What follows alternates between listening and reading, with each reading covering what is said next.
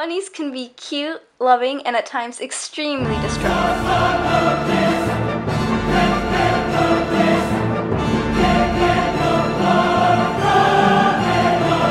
Alright, now on a serious note, today I'm going to be talking about rabbit body language.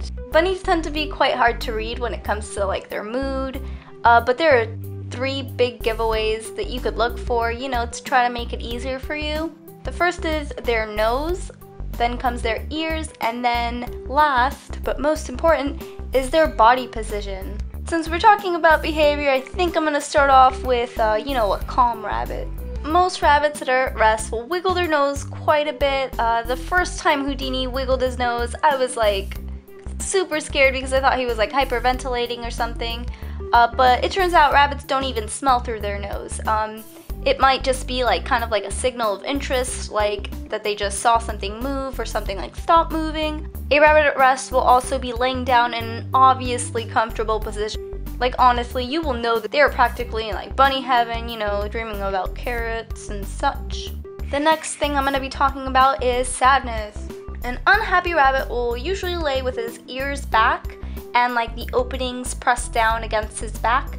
Uh, I do not have any footage of Houdini being sad, so I just kind of did it with my hands just as a demonstration.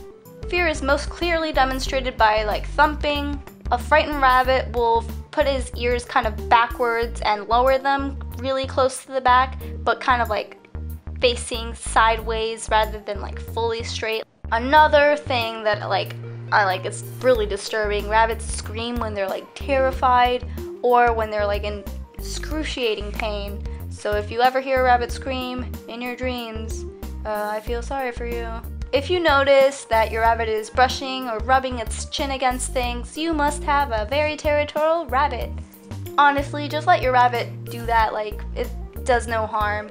Um, unless they start like digging and like eating things like cables and electricity things like there you go that's a problem right there I don't actually have any footage of Houdini being territorial because she's spayed oh yeah she's a girl forgot to mention that a curious rabbit will mostly like stand on their back legs and just like watch the world, I guess you could say.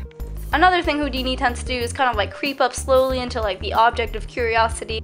A rabbit will tend to present itself for grooming by coming up next to you and that's like when it really wants attention. It will probably like stretch its head forward and like put its butt and rear like kind of up higher than the rest of his body. This is like a legitimate honor and if you don't pet your rabbit, you do not deserve it because he's totally giving you your his body. Like honestly guys, just pet the poor bunny. It wants love. The last thing I think I'm going to talk about is binkies. Binkies are like the happiest rabbit expression and it's like so cute and I just love it when Houdini does this.